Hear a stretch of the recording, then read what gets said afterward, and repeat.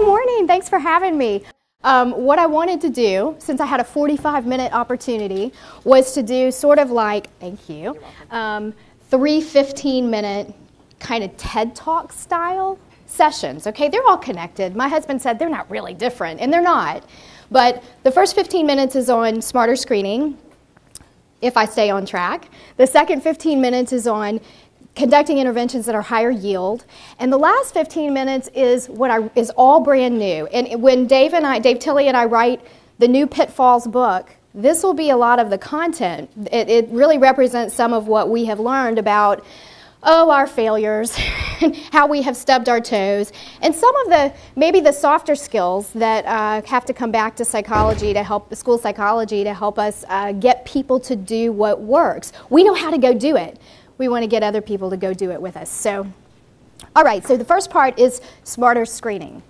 Um, we, Reynolds said in, in, gosh, 1975 that assessment ought to be about making a difference and not just a prediction in the lives of children. And in fact, the assessment that we do is, is very useful. We know that formative assessment, especially uh, in, in the, the, last 20 years, formative assessment is something that has one of the strongest effect sizes on academic achievement around of all of the things that we compare. So assessment is a good thing. And yet, we make three classic errors when we conduct assessment as school psychologists. First, we assess when we already know the answer. We, when we're not sure about the answer, we collect more information concurrently using highly correlated measures and act as though that's going to make us more accurate in our decision, which it doesn't. It just costs us time.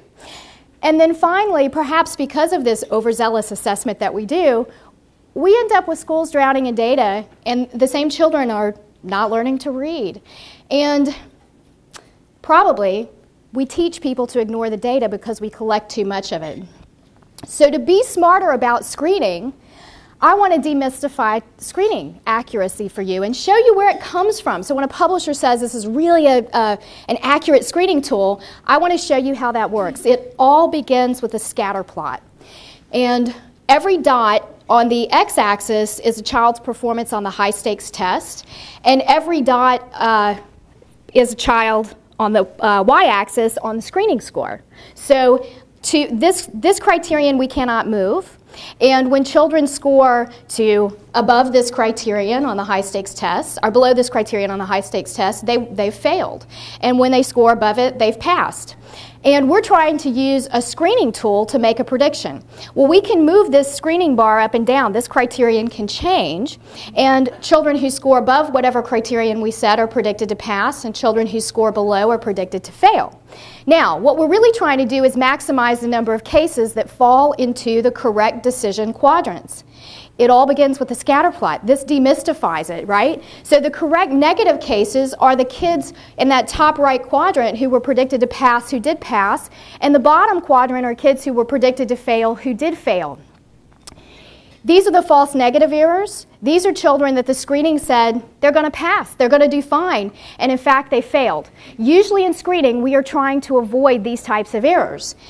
So, these are the false positive errors. These are kids that we said are going to fail but actually passed. Now, the point that I want you to see here is if you want to make fewer false negative errors, you got to move the bar up. But look what happens when you move the bar up. You're going to make more false positive errors, a lot more false positive errors. So where you set that bar determines how, and, that's flexible. You can make that decision as a test user, and this is all in the world people do when they run a ROC analysis and report what sensitivity and specificity is. The other thing I hope you noticed is that all the error occurs at the cut points. Did you see that? All the error is right at the cut score. Now, there are only four boxes. There are only four quadrants. You saw them. So if you see a screening measure that has three categories of risk, and it says definitely not at risk, some risk, or maybe at risk, and definitely, definitely at risk, then that is, that is a measure that will probably be less accurate in the real world. And I'll tell you why. Because when somebody does that, it's possible that they have removed the cases in the middle from the analyses. And they are reporting the accuracy estimates based upon being definitely not at risk, definitely at risk, and they're ignoring the cases in the middle. But we just said that's where all the error is. And here's the other thing you probably knew who these kids were before you screened. You probably knew who these kids were before you screened. And so, in fact, why are we screening? We're screening because we don't know what to do with the in the middle kids. So, here's the thing we cannot ignore the risk that people bring into assessment. And we do this all the time. It's kind of a, it's, it's time for us to evolve this practice. If you walk into an emergency department, you have two individuals, and both have the very same symptoms crushing chest pain. And on the one hand, you've got a 65 year old male smoker who is overweight. The probability that that person is really having a heart attack is displayed in the red there. Now, same symptoms, okay? Same CBM score, if you will. But on the right, you've got a 30 year old female non smoker who is normal weight. The probability that that individual is really, really having a heart attack is so low that it should, it absolutely should affect what you choose to do to screen and determine whether or not you need to do more assessment. Let me, let me uh, tell you why. If you do a test on the one on the left and the test comes back that says, nope, there's no heart attack, if there are, if there are false negative errors associated with that test, which there always are, you, you're not going to stop. You're not going to say, okay, fine, you must be okay, because that person's probability of having a heart attack is so high that it's more likely that your test is wrong. So when we, when we ignore the risk that people bring to assessment, and we conduct assessment when we already know the answer, then all we are doing is inviting error this happens every year. My husband's an ER physician, and they, they have these kinds of things happen for real. And he will call me and he'll say, Oh, your favorite thing has happened. You're not going to believe it. It's happened again. And uh, so, a positive pregnancy test in a male happens every year. You know why? You don't give a pregnancy test to a male because you already knew the answer. The test can only give you bad information. And yet, we do this when we're giving academic screening measures to kids who receive special education services. Guess what? We already know the answer. They're at risk. We, even if they pass the screening, their risk is so high that they're still going to fail the year end test, that they're still not going to learn to read, that in fact we need to really remove them from that place and go ahead and, I, I don't mean from the physical place, remove them, remove the question mark over their head, and assume that they need intervention and go ahead and figure out how to provide that. Academic risks we should not ignore in screening. Prior referral or identification. That's a big one. When somebody has raised a red flag about a kid, usually there's a reason. There's a reason that there is a concern. A recent move, especially from a lower achieving district or state, special education eligibility, in some contexts, some of the demographic uh, factors are independent risk factors, and always, always class wide, grade wide, or school wide proficiency problems. Okay, so back to our scatter plot. Remember, there's only four quadrants. And the way it works is the number of cases that are correct negatives go here. The number of cases that were correct positives go here. The number of cases that were false positive errors go there. And the number of cases that were false negative errors go there. And from those values, we calculate sensitivity and specificity. And from those values, we calculate everything else. So hopefully it's a little bit demystified for you that it all begins with a very simple scatter plot. Regardless of you're doing a regression analysis or ROC or whatever, it all can be boiled down to a very simple scatter plot and a contingency table that looks like this. Now, here's the takeaway point on this. Um, sensitivity, by definition, only is computed based upon the real positives. The kids who are going to fail, the people who really have cancer, okay? The uh, specificity is only computed on people who are going to pass, they're going to do fine, they really don't have cancer. The problem is when you are screening, you don't know yet which category somebody's going to be in, right? For the in the middle kids. So, sensitivity and specificity are really properties of a test.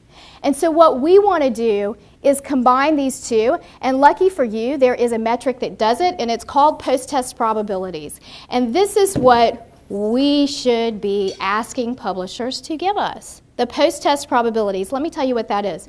A post test probability is the probability when I have a failed screening that I'm really going to go on to fail the high stakes test given my risk factors. Okay? Medical analogies always work. So I have a positive finding on a mammogram. What are the chances that I really have cancer? And there are probably some things you want to know about me, like have I had cancer before? And how old am I? And do I smoke? Right? Those are, those are independent risk factors. This is a smarter way to screen.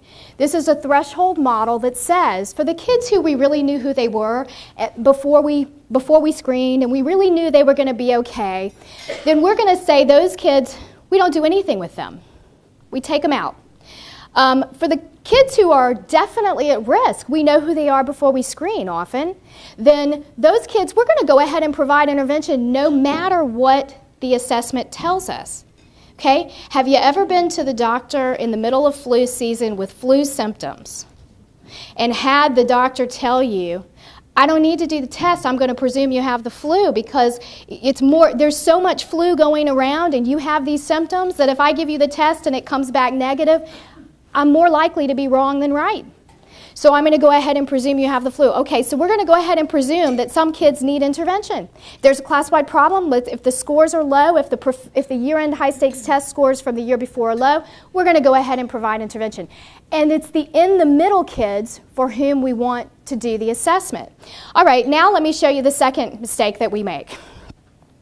Collecting more of the same information at the same time doesn't help us make more accurate decisions about kids. These data come from Pennsylvania, and these are post-test probabilities. So for oral reading fluency with third graders and in a sample in Pennsylvania, 8% uh, of kids who passed the screener went on to fail the high stakes test, this, this screener's oral reading fluency, and 47% of kids who failed the screener went on to fail the high stakes test. All right, this is what Maze looked like. 12% of kids who passed the screener went on to fail the high stakes test at the end of the year, and 46% of kids who failed the screener went on to fail the high stakes test. Um, this is a measure called 4Sight. It's an individually administered one hour per kid assessment. And it does help us. You know, if you fail that, you're, you're pretty likely going to fail the high stakes test. But it doesn't help us really with the rule out decision any more than oral reading fluency. So, what I want you to notice is the cost. Are you able to make better rule out decisions as a result of collecting all three? No way. So, one thing we should do is just use one. Just choose one. And when we make that choice, and I don't really care which one you choose, I want, I want people to do it with their eyes open about how much time it takes. So oral reading fluency is one minute per kid. Maze is three minutes per kid, but you can do it as a group, so can be very, very efficient. And this for the same 100, if we're pretending we have 100 kids, this would be 100 hours. And you miss more kids. So 100 hours of assessment versus 100 minutes. Okay. Now, the other thing is if we change the base rate, which we can do with intervention, then we can suddenly have a screening tool that becomes very accurate for us. Okay? So if we move the amount of red, that the amount of risk that people bring into the assessment, if we change that with intervention, we can make what looks like a crummy screener become very effective. So this is the, these are the post-test probabilities for kids in, who receive free and reduced lunch in, uh, in a district in Massachusetts. And this is, this is a useless test. We can't rule anybody out. Kids who pass our screener, this happens to be a math screener, I won't say which one, um, 44% of those kids go on to fail the high stakes test. Why? Because their risk was so darn high. It was a flu epidemic. I mean, their risk was so high before we started that no measure can function in that context. Now we go in and provide intervention, we change the base rate.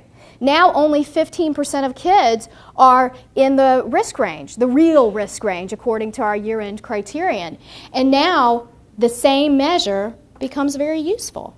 So only 6% of kids who pass it will go on to fail, so we can easily rule out kids. And in fact, six, uh, the, the pot, on the other side, the failed screener is 57%. So if they, if they fail the screener now, 57% of kids will go on to fail the high stakes test. So that is a very, becomes a very useful tool.